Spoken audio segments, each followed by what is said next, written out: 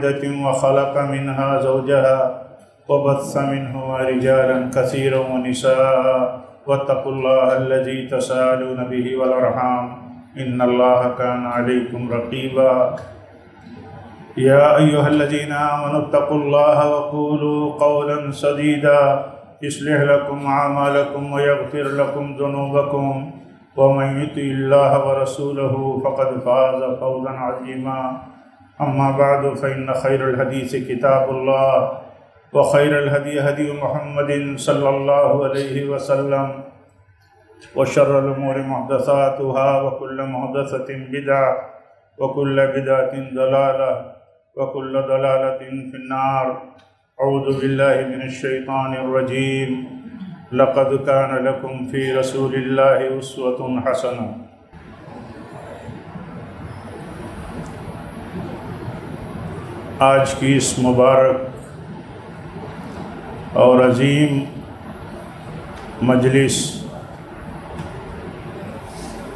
तरबियत, तरबियती इज्तम की मजलिस,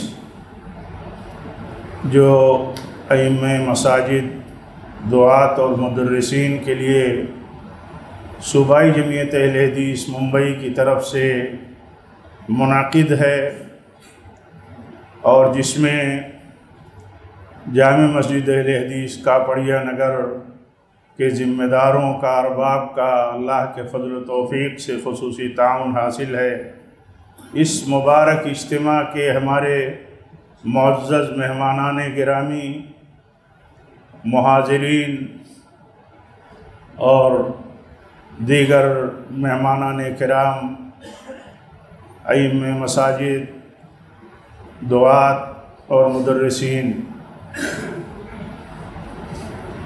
इस मुबारक मजलिस के इनका पर अल्लाह की तौफ़ी मिलने पर सबसे पहले हम अल्लाह ताला का शुक्र अदा करते हैं कि उसने तौफ़ी बख्शी और एक सिलसिला जो आजमाइश का कोरोना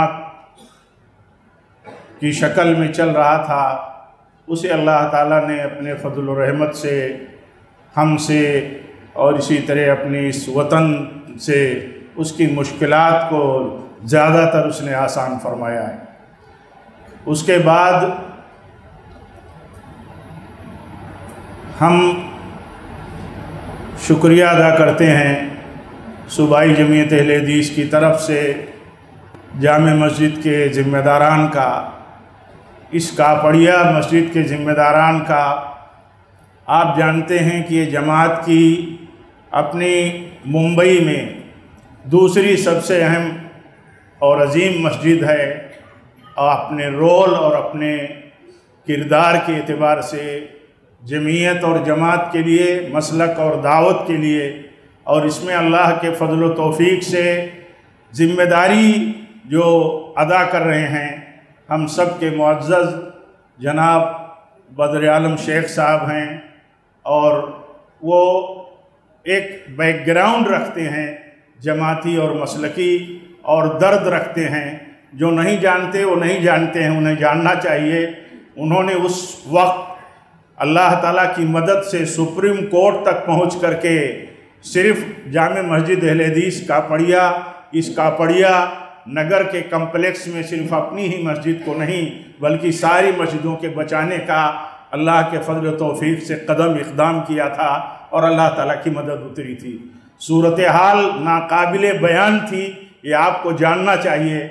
आप जमात के सूबाई हलके के मसाजिद के ज़िम्मेदारान हैं तो गोया कि आप नुमाइंदे हैं मसलक और जमात के इस अपने हलके में। आपको जानना चाहिए कि देखने की सूरत हाल नहीं थी। यहीं मस्जिद के बगल में शाफी मस्जिद की दीवारों से खिड़कियाँ निकाली जा रही थी, ग्रिल निकाली जा रही थी। ये सूरत हाल थी जैसे लोग आप दीदा थे, रो रहे थे कि कल अगर इसे डिमोलिश किया जाएगा इन मस्जिदों का तो क्या होगा? अल्लाह ताला की मदद हुई।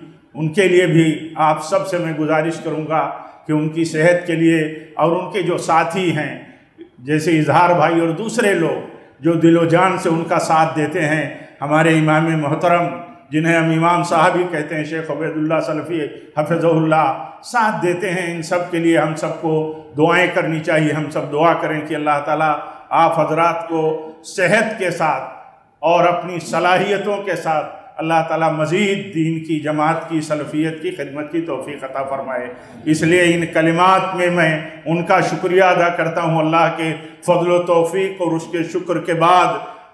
और उसके बाद आप तमाम हजरात की यहाँ आमद पर और जमा होने पर जो खुशी है, जो इन जो इन बेसात है, जो एहसास है, वल्लाह में उस एहसास का तस्करा ना मैं उर्दू ज़बान पर कुदरत रखता हूँ और ना ना मैं बमुश्किल ही इस वक्त आपके सामने उस एहसास को रख सकता हूँ। जितनी खुशी है कि आप जमात की दावत पर एक वसूल और एक मनहज की बुनियाद पर और उस नुक़ नज़र की बुनियाद पर कि ये इज्तम जो है, ये इज्तम जो है, ये एक रबता है हमारा। ये इज्तम जो है, या इम्मा दुआत और मुदरसिन के बीच के इलाके इलाके की एक कड़ी है।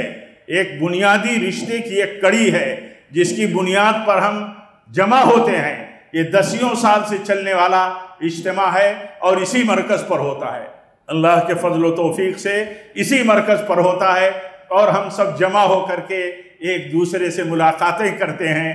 पूरे अपनी सूबाई जमीयत के हलके की मसाजिद के अम्मा दुआत से एक दूसरे से तबादले ख्याल करते हैं और एक दूसरे की सरगर्मियाँ, कोशिशें, मसाइल मुश्किल आसानियाँ परेशानियाँ शेयर करते हैं। तो ये मौका है, इस मौके पर जब आप जमा होते हैं तो आप सोच नहीं सकते कि ज़िम्मेदारों को कितनी खुशी होती है कि आप नुमाइंदे हैं मसलक के, आप नुमाइंदे हैं जमात के, आप नुमाइंदे हैं हमारी पूरी कम्युनिटी के और इसी तरह जमात और जमीयत के, और आप नुमाइंदे हैं दावत के, आपके आपके हाथों में झंडा है, सलफियत का आलम है, आप इसे बुलंद किए हुए हैं। आप किसी मामूली मसलहत से यहाँ नहीं जमा होते हैं। बल्कि आप जमा होते हैं इस मसलहत से कि हम मोहताज हैं, हम ज़रूरतमंद हैं। इस बात के कि हमें मौका ब मौका जिस तरह मुराकबे में, जिस तरह मुराकबे में आसमानी अम्बिया रहते थे,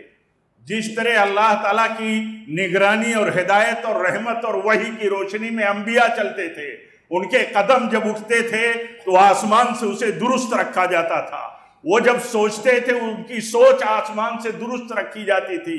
और उनके हर फ़िक्र नज़र को आसमान से रहनुमाई मिलती थी। ऐसे ही इसी मकसद के तहत हम यहाँ जमा होते हैं कि हम अपनी सोच को, अपने इकदाम को, अपने नुक़ नज़र को, अपने मौक़ को और अपने करने वाले काम की हम तस्वीम कर सकें। हम उसे सही रुख दे सकें और जहाँ कहीं जहाँ कहीं हमें इसलाह की ज़रूरत हो तो हम इसलाह ले सकें। क्योंकि अगर अम्बिया को आसमानी वही की रोशनी में चलना ज़रूरी था तो वही का सिलसिला बंद हो जाने पर आखिर नबी ख़ातमनबीन सल्लल्लाहु अलैहि वसल्लम पर आप बताइए हम क्या मोहताज नहीं हैं कि हम अपने अकाबिर, अपने वलमा, अपनी जमात की रहनुमाई और सरपरस्ती में रह करके, इल्मी तबादला करके, तस्कीर करके, एक दूसरे से इस्तीफादा और इफादा करके हम आगे बढ़ते रहें, ख़ास तौर पर उन मसाइल में, जिन मसाइल में हमारी कहीं नज़र कमज़ोर हो जाती है। कहीं हम कमज़ोर पड़ जाते हैं, वहाँ हम देखें कि हमारे अकाबिर इस सिलसिले में हमारी रहनुमाई क्या करते हैं। हम जानते हैं, इसी नुक़ नज़र के साथ हम सब बैठते हैं कि हमें अकाबिर के साथ जुड़ा रहना ज़रूरी है। हमें अपनी जमात के साथ जुड़ा रहना ज़रूरी है। आपको ये बताने की ज़रूरत नहीं मैं समझता कि जमात के साथ जुड़ा रहना एक कितना बड़ा खैर है। जमात के साथ जुड़ा रहना ये कितना बड़ा बड़ी सिक्योरिटी है। जमात के साथ जुड़ा रहना ये कितनी बड़ी रहमत है। इसका तस्करा नहीं किया जा सकता। इसका तस्करा तो अल्लाह के नबी सल्लल्लाहु अलैहि वसल्लम ने खुद फरमाया है। हमारे लिए याद दहानी काफ़ी है।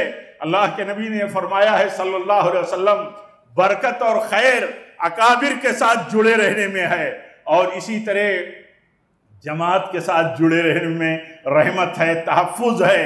और जमात के जुट से जुड़े रहने को लाजिम करार दिया है। जमात क्या है? इसकी शरह और तफसीर आप देखिए। आप आप देखिए, पढ़िए इसको और शाहजरायों से और इसी तरह ना समझी की बातों से बचिए और बचाइए, कोशिश करिए। हम सब का ये काम है और ये हम सब का जिम्मेदाराना काम है। अल्लाह ताला हम सबको तोफीक दे। इसी मसलहत के तहत हम यहाँ जमा होते हैं। इन्हीं मसलहतों को बुनियाद बना करके हम यहाँ जमा होते हैं कि हम जमा हो, एक दूसरे से मिलें और जमात के प्लेटफार्म पर जमा हो और इसलिए जमा हो कि हमारे सामने बहुत सारे गोशे, बहुत सारे पहलू ऐसे हैं जब हम अपने बड़ों से उन गोशों पर सुनते हैं और उन पहलुओं पर हम गुफ्तगु जब सुनते हैं और उन मौजूद पर जब हम हम समझते हैं तो ऐसा लगता है कि कहाँ हम कमज़ोर थे और हमारे सामने वो पहलू जो हमारे लिए बहुत तिश्ना थे, वो किस तरह खुल करके सामने आ गए। आपको ये बात मैं बतौर याद दहानी कहता हूँ कि इमाम इमन कईम जैसा इंसान अब करीब, वो फरमाते हैं कि जब मसाइल आते थे और इमाम इबन तैमिया रहमतुल्लाह के पास हम पहुँचते थे अपने उस्ताद ग्रामी के पास तो मसले को ऐसे खोल करके बयान कर देते थे कि जैसे कोई मसला है ही नहीं। आप बताइए, इतना बड़ा अजीम इल्मी अबकरी शख्सियत और वो अपने इमाम और अपने उस्ताद से जुड़े रहने का और उसकी अहमियत का एहसास दिलाता है, हम सबको और तारीख बताता है और हम सब रात दिन के अपने तजर्बों में अगर हम ईमानदाराना चलते हैं तो हम सब के सामने ये सूरत हाल हमेशा रहती है। अल्लाह ताला हम सबको तोफीक दे। तो ये मकसद है। मकसद ये है कि हम जमाती तौर पर इस्लाम के, दीन के, सलफियत के आलम को बुलंद रखें, किसी किस्म के समझौते से काम न लें। हमें, किसी के हमें हमें रवादारी करना है। हमें मफादात के लिए समझौता नहीं करना है। मफादात के लिए समझौता, क्या वरसतुलम्बिया कर सकते हैं? नहीं कर सकते। वरसतुलम्बिया नहीं कर सकते। लेकिन हम वरसतुलम्बिया अपने आप को कहें या हमें कहा जाए तब भी हम इस बात के मोहताज हैं, ज़रूरतमंद हैं कि हम सबको मौका ब मौका तस्कीर किया जाए, याद दहानी किया जाए, नवाजिर और मसाइल पर हमारी रहनुमाई की जाए। इसीलिए इस मुनासबत को अल्लाह के फजल तोफ़ी के साथ कायम किया जाता है, जिसमें हमारे यहाँ के ज़िम्मेदारान अल्लाह के फजल तोफ़ी से भरपूर साथ देते हैं। इसके बावजूद जामा मस्जिद अहलदीस कापड़िया के ज़िम्मेदारान, आप मुआज़ इम्मा मुआज़त दुआत और ख़ुतबा से अदब आपसे गुजारिश भी करते हैं कि उनकी मेज़बानी में और उनकी तरफ़ से आपकी खिदमत में अगर कोई कोताही हो तो आप नज़रअंदाज करें। लेकिन वो आपकी दुआओं के तालिब हैं, वो दरख्वास्त करते हैं। उनकी सेहत के लिए हम दुआ करें कि अल्लाह ताला जिम्मेदारान को सेहत याद याब रखे और उनके, उनकी क़ुत को और उनकी शौकत को दावत और सल्फियत के लिए अल्लाह ताला मुसलसल मुसलसल उनकी शौकत को लगाए रहे ताकि ये कलिमा और सरबुलंद हो। अल्लाह ताला तौफीक दे।